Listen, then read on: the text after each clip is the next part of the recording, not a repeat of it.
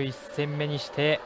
アラン・プロストがここでトップでチェッカーフラッグ初優勝を飾りました。81年のフランスグランプリ。アラン・プロストが記念すべき1勝を飾りました。小倉さん、この後50回も優勝を重ねて結局51回という素晴らしい記録をプロストこの後築いていくわけですね、はい、偉大な記録を作りましたよね。ルノー、マクラーレン、フェラーリ、ウィリアムズ、えー、ここでいろいろと勝利を重ねていったわけですよね。はい、今映ってたのが FIA の会長メッテルニヒさんですね。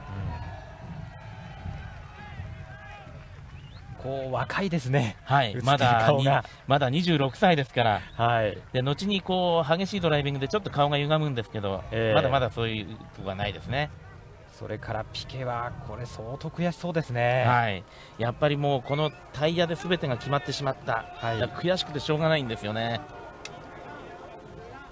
でもし雨で中断しててくれたらハーフポイントにはなったけれども、えー、4.5ポイントだったけれども優勝という記録がついたんですよね。なるほど。優勝になった。やはりロイテマンが37ポイントかなりリードを築いています、はい、そしてこちらがコンストラクターズ、はい、ウィリアムズがまだまだ、えー、今回はノーポイントでしたけれども圧倒的に有利です。ただブラバムも、えー、ピケがなんとか1人でポイントをどんどん稼いでますので、はい、これからどうなるか